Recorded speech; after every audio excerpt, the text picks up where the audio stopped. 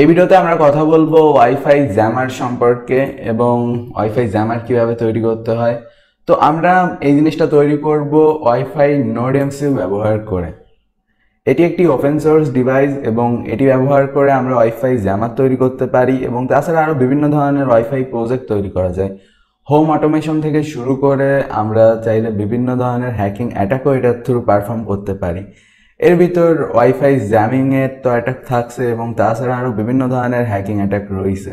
As like fake access point create করা অথবা মাল্টিফেল access point create করা অথবা কোনো ওয়াইফাইয়ের পাসওয়ার্ড না জেনে ওটাকে অ্যাটাক করা, অর্থাৎ ওটাকে জ্যাম করে দেওয়া এবং এর পাশাপাশি আছে ওয়াইফাই ফিশিং অ্যাটাক যেটা ব্যবহার করে আমরা বিভিন্ন ধরনের ওয়াইফাইয়ের পাসওয়ার্ড এবং ইনফরমেশন জাম জাম করে তারপর ফিশিং অ্যাটাক করে নিতে পারি অবশ্যই সমস্ত আমরা এর পরবর্তী ভিডিওতে জানব এই ভিডিওতে আমরা ওয়াইফাই জামার সম্পর্কে জানব সো গাইজ আপনারা নিউবিডি শপ ডট কম থেকে এই অ্যাভেলেবেল সকল হ্যাকিং ডিভাইসগুলো কিনতে পারেন এই জায়গায় আপনারা ওয়েবসাইটের ইউআরএল দেখতে পাচ্ছেন তো চলুন এখন কথা বলা যাক ওয়াইফাই মডিউল অর্থাৎ নোড এমসিউ সম্পর্কে এবং এটাকে প্রোগ্রাম করা সম্পর্কে।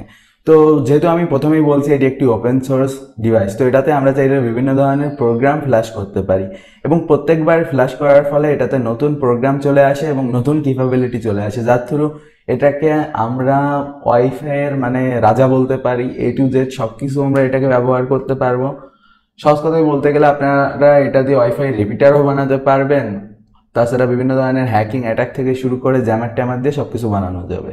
তো এই ভিডিওতে আমরা আসলে জামার বানানো দেখব এবং গিট অ্যাপ থেকে বিভিন্ন প্রজেক্ট সম্পর্কে জানব। তো গিট হাবে ডব্লিউ আই পিডব্লিউ এর নামে একটি প্রজেক্ট আছে, আর গিট অ্যাপ সম্পর্কে আপনারা এই কোর্সের আগের ভিডিওগুলো দেখে আসলে অবভিয়াসলি জানেন যে আসলে ওয়াইফাই পিডব্লিউ এন অথবা এই ধরনের বিভিন্ন গ্যাজেটগুলো অথবা বিভিন্ন ধরনের প্রোগ্রামগুলো আপনারা কীভাবে গিট অ্যাপ থেকে খুঁজে বের করবেন। তো সিম্পলি আমি জায়গায় বেশ কয়েকটা প্রজেক্টের নাম আপনাদের দেখাবো ডব্লিউ আই পিডব্লিউ এন এবং আরেকটি হলো ডি অর্থাৎ তো এইগুলো ব্যবহার করে আপনাদের আসলে দেখাবো যে আসলে কোনটা কেমন এবং কোনটা দিয়ে আপনারা কি কি করতে পারবেন। সো ফার্স্ট অফ অল চলুন কথা বলা যাক ডব্লিউ আই পিডব্লিউ সম্পর্কে। এটা ব্যবহার করে আমরা একটা ওয়াইফাই জ্যামার তৈরি করতে পারি এবং এটাই বিভিন্ন ওয়াইফাই পাসওয়ার্ড না জেনে আমরা সেই ওয়াইফাইগুলোকে জ্যাম করা ফেক অ্যাক্সেস পয়েন্ট ক্রিয়েট তৈরি করা থেকে শুরু করে সব কিছু করতে পারব। এবং নিউবিডি শপ ডট কমে থাকা এই ডিভাইসটাতে আমরা এই প্রোগ্রাম যতগুলো দেখতে পাচ্ছি সবগুলো রান করতে পারি। তো অবভিয়াসলি আপনারা আমার রিকমেন্ডেড সাইট থেকে কিনবেন, যাতে করে কোনো প্রবলেম হলে আমি আপনাদের সলিউশন দিতে পারি। সো আমরা আজকে আসলে দেখব যে ডব্লিউ আই পিডব্লিউ এন কীভাবে ফ্ল্যাশ করা যায় অথবা ডি অর্থার কীভাবে ফ্ল্যাশ করা যায়। আসলে প্রত্যেকটারই ফ্ল্যাশ করার প্রসিডার সেম আর তাছাড়া আরও ওয়াইফাই জ্যামিংয়ের জন্য যে প্রোগ্রামগুলো রয়েছে, সেগুলোও সেম তো এগুলো ব্যবহার করে আমরা কিন্তু আসলে এই কাজগুলো করতে পারি। তাছাড়া পিচিং অ্যাটাকের জন্য সেম উপায়ে কাজ করে। তো এর জন্য একটা ফ্ল্যাশের প্রোগ্রাম পাওয়া যায়। এটার থ্রু আমরা খুব সিম্পলি প্রোগ্রাম ফ্ল্যাশ করতে পারি। এবং তাছাড়া গিট আপ পেজে এই জায়গায় ইন্ট্রোডাকশন দিয়ে দেওয়া রয়েছে যে আসলে কীভাবে কীভাবে আমরা ফ্ল্যাশ করব।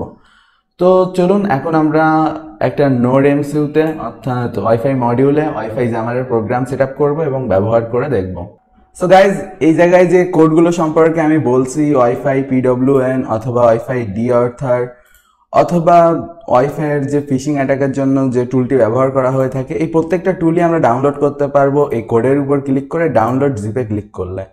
তো সিম্পলি আমাদের এই জায়গায় ফাইলটি ডাউনলোড হয়ে যাবে এবং এর ভিতর আমরা টুকটাক প্রয়োজনীয় সব জিনিস পেয়ে যাব। এবং তাছাড়া আপনার যদি আমার ভিডিওটা বুঝতে একটু কষ্ট হয়, তাহলে আপনি গিটাবের এই প্রজেক্ট পেজ থেকে এই টোটাল ডিসক্রিপশনটা দেখে নিতে পারেন। আর নোড এমসিউতে যে কোনো প্রোগ্রাম ফ্ল্যাশ করার জন্য নোড এমসিউ ফ্ল্যাশার টুল ব্যবহার করা হয়ে থাকে। তো আমরা নোড এমসিউ ফ্ল্যাশার টুলটি এই জায়গায় পেয়ে যাব, অথবা গুগলে গিয়ে যদি লিখি নোড এমসিউ ফ্ল্যাশার তো এটা ডাউনলোড করে নিতে পারব। তো মাস্ট বি আমাদের ফ্ল্যাশারের প্রয়োজন হবে, কারণ প্রোগ্রাম ফ্ল্যাশ করার জন্য একটি প্রোগ্রাম ব্যবহার করা হয়। আর এই যেটা আপনারা ডাউনলোড করবেন, এটি হবে ফার্মার্ট তো এরকম প্রত্যেকটা সফটওয়্যারের ক্ষেত্রেই প্রযোজ্য। কারণ নোড এমসিউতে আপনার প্রথমে ফার্মার্ট নামাতে হবে, আর তাছাড়া ফ্ল্যাশের টুল তো সবসময় লাগবেই। তো ফ্ল্যাশের টুলটা আসলে এরকম হবে। তো চলুন আমরা এখন প্র্যাকটিক্যালি গিয়ে দেখি। একটা হলো বিন ফাইল এবং আরেকটা হলো ফ্ল্যাশার ফাইল তো বেসিক্যালি এই যে ফাইলটা ডি অথার এটা হলো সেই প্রোগ্রামটা যেটা ফ্ল্যাশ করতে হবে আমাদের নোড এমসিউতে আর এটা হলো সেই ফ্ল্যাশ করানোর সফটওয়্যার তো বেসিক্যালি এখন আমাদের কাজ হলো আমাদের কম্পিউটারে ইউএসবি লাগাতে হবে এবং ইউএসবি লাগানোর পর সেই ইউএসবি কেবলটাকে আমাদের নোড এমসিউর সাথে কানেক্ট করতে হবে। তো বেসিক্যালি নোড এমসিউ কে আপনারা ইউএসবির মাধ্যমে কানেক্ট করে নেবেন কম্পিউটারে তো বেসিক্যালি যারা নোড এমসিউ কিনে এটাকে সেট করবেন অথবা আপনারা সেট করতে চান, তো এটা করবেন, এখন কানেক্ট দেওয়ার পর আপনারা বেসিক্যালি এই জায়গায় চেক করে নেবেন যে আপনাদের নোড এমসিউ কানেক্ট হয়েছে কিনা। তো তার জন্য আপনারা ডিভাইস ম্যানেজারে যাবেন এবং ডিভাইস ম্যানেজারে যাওয়ার পরে জায়গায় পোর্টসে গেলে আপনারা পেয়ে যাবেন, ঠিক আছে? তো তার জন্য আরেকটা কাজ করবেন, দেখেন বেসিক্যালি এখন নোড এমসিউটাকে আপনারা আবার কম্পিউটার থেকে আনপ্লাগ করবেন। আনপ্লাগ করলে দেখবেন একটা হারাই গেছে, ঠিক আছে? এবং আপনি যে আবার লাগাবেন তখন দেখবেন আইটা চলে আইছে এবং সেটা হলো সি ও এম ফোর অর্থাৎ এই পোর্টটা তো এই পোর্টটা আমাদের জানতে হবে কারণ আমাদের ফ্ল্যাশ করার সময় এই পোর্ট নাম্বার চাইবে। তো বেসিক্যালি এখন আমরা এই ফ্ল্যাশারের উপর ডবল ক্লিক করব। করার পর আমাদের প্রোগ্রাম রান হয়ে যাবে, ঠিক আছে? তো এখন এই জায়গা থেকে আপনি কমফোর্ট সিলেক্ট করবেন। আমি প্রথমেই বলেছি যে প্রয়োজন পড়বে আর তারপর কনফিগারে চাপ দিবেন। দেওয়ার পর এই জায়গায় দেখেন সেটিং আঁকানো একটা চিহ্ন রয়েছে। এটার উপর প্রেস করবেন এবং এই ফাইলটা সিলেক্ট করবেন। এবং করার পর অ্যাডভান্সে যাবেন এবং তারপর এই জায়গায় গিয়ে আপনি এইটাকে একদম কমাই দিবেন, ঠিক আছে? দ্য রেট নাকি এরকম একটা নাম, এটাকে কমাই দিবেন এবং দেওয়ার পর অপারেশনে যাবেন এবং তারপর ফ্ল্যাশে চাপ দিবেন। তো এখন এই জায়গায় দেখেন একটা জিনিস ঘুরতিছে। তো এটা ঘুরতিছে মানে ফ্ল্যাশ হচ্ছে। সেটআপটা কমপ্লিট হতে বেশ কিছু টাইম লাগবে বাট তারপর এই জায়গায় এরকম করে একটা সবুজ চিহ্ন চলে আসবে। তো এই চিহ্নটা চলে আসা মানে আমাদের সেটআপ কমপ্লিট হয়ে যাওয়া এবং আমরা এখন আমাদের ডিভাইসটাকে কম্পিউটার থেকে বের করতে পারি। গ্যাস সর্বপ্রথম আমরা আমাদের ইন্টারনেট কানেকশন চেক করে নিব যে আমাদের কম্পিউটার ইন্টারনেট ঠিকঠাক কাজ করতেছে কিনা। তো তার জন্য আমি আপনাদের মানে কিছু একটা প্লে করে দেখাচ্ছি যে আমাদের ইন্টারনেট কানেকশন ঠিক আছে কিনা। কারণ এরপর আমরা যখন জ্যামারে টেস্ট করব, তখন আমাদের ইন্টারনেট কানেকশন কাজ করার কথা না। সো গাইস ডিভাইসটাকে কম্পিউটার থেকে খুলে নিলাম এবং এখন আমাদের দরকার পড়বে এটাকে পাওয়ার করা। তো পাওয়ার করার জন্য আমি এই জায়গায় একটা পাওয়ার ব্যাংকের ব্যবহার করতেছি অল্টারনেট পাওয়ার ব্যাংক তো বেসিক্যালি আপনারা যে কোনো পাওয়ার ব্যাংক অথবা মোবাইলের ওটিজি অথবা যে কোনো মোবাইল ফোন চার্জার যে কোনো পাওয়ার সোর্সে লাগাতে পারেন, পাঁচ ভোল্টের যে কোনো চার্জার অথবা অ্যাডাপ্টার হলে এটা খুব ভালোভাবে কাজ করবে।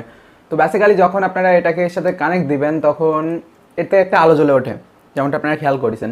এবং এতে দুই পাশে দুটো বাটন রয়েছে। তো ওসব দেখে আমাদের আপাতত কোনো লাভ নেই, এখন আমাদের এটাকে কানেক্ট করতে হবে। আমার মোবাইল ফোনে গেলে এই জায়গায় আমি দেখতে পাচ্ছি একটা পি ডব্লিউ এনইডি নামে একটা ওয়াইফাই আইছে। এটার সাথে কানেক্ট করে নেবেন। কানেক্ট করার সময় পাসওয়ার্ড চাইলে ডি অথর নামক পাসওয়ার্ডটা দিবেন। এখন আমাদের মোবাইল ফোনে ব্রাউজারে যেতে হবে এবং ব্রাউজারে গিয়ে টাইপ করতে হবে one nine two one six eight four dot one তো এটা প্রেস করার পর আমাদের সামনে এরকম একটা অপশন চলে আসবে। তো এই জায়গায় আসলে আমরা দিব I read and understand all above তো এরকম করার পর আমরা এই জায়গায় দেখতে পাচ্ছি দেখেন যে আমাদের সামনে ওয়াইফাই চলে আসছে কয়েকটা। তো বেসিক্যালি এখন আমাদের কাজ যেটা, সেটা হলো যে ওয়াইফাইটার উপর আমরা অ্যাটাক করব, সেটাকে আমরা এই জায়গা থেকে ক্লিক করে নিব, ঠিক আছে? এবং তারপর এই জায়গা থেকে স্টেশন অ্যাড করব। তো বেসিক্যালি এই জায়গায় আমরা স্টেশনও অ্যাড করে নিলাম। তো অ্যাড করে নেওয়ার পর বেসিক্যালি এখন আমরা অ্যাটাকে যাব। আর এটা করতে আপনার কিন্তু ওই ওয়াইফাইয়ের পাসওয়ার্ড জানা লাগবে না। তো এটা যাওয়ার পর এখন যদি আমরা স্টার্টের উপর ক্লিক করি স্টার্টের উপর ক্লিক করার পর যদি আমরা এই জায়গায় রিলোড দিই, তো দেখতে পাচ্ছেন এই জায়গায় একটা অপশন আমাদের অটোমেটিকলি হয়ে পড়েছে, যে ডি অর্থাৎ চলতেছে। ডি অর্থাৎ মানে ওই ওয়াইফাইটাকে জ্যাম করা। তো বেসিক্যালি এখন যদি আমরা আমাদের এই কম্পিউটারটা আমাদের সেম নেটওয়ার্কে কানেক্ট আছে, তো যদি চেষ্টা করি, তো এই জায়গায় কানেক্ট হবে না। এবং তার পাশাপাশি এই জায়গায় দেখেন এই ওয়াইফাইটা একদম গায়েব হয়ে গেছে। তো বেসিক্যালি এভাবে ওয়াইফাই নেটওয়ার্কটা কিন্তু জ্যাম হয়ে গেছে। সো গাইজ বেসিক্যালি ডি অর্থাৎ ব্যবহার করে আমরা এভাবে ওয়াইফাইকে জ্যাম করতে পারতেছি।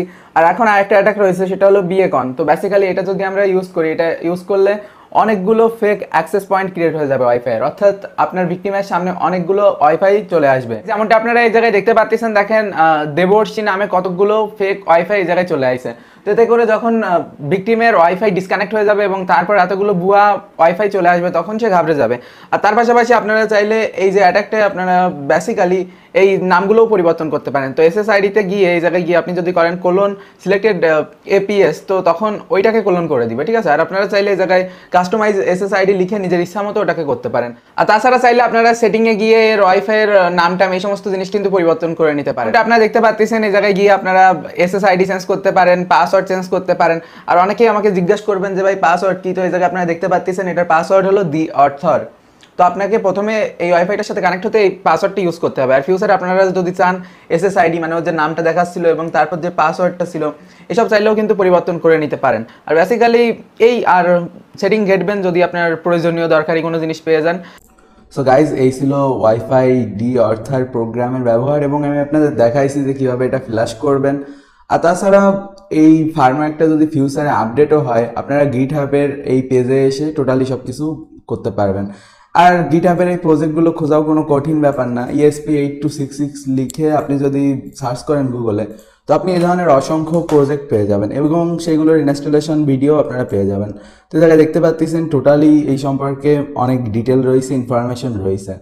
তো এই ছিল এটা, আর এখন আমি আরেকটা প্রোগ্রাম ফ্ল্যাশ করব, সেটা হলো ওয়াইফাই পিডব্লিউএন এবং এটার ফ্ল্যাশিং প্রসিডার সেম সুতরাং এই কারণে আমি এটা দেখাবো না, এবং ওয়াইফাই পিডব্লিউএন এটাও ডি অর্থারেরই মতো বাট এটা অ্যান্ড্রয়েড ফোনে অ্যান্ড্রয়েড অ্যাপ ইউজ করে সব কিছু কন্ট্রোল করা যায়। তো এই ফার্মার্কটাও সেমভাবে আমরা ফ্ল্যাশ করব, এবং এই ফার্মার্কটা ব্যবহার করে কি কি করা যায়, চলুন আমরা এখন ডেমনস্ট্রেশন দেখি।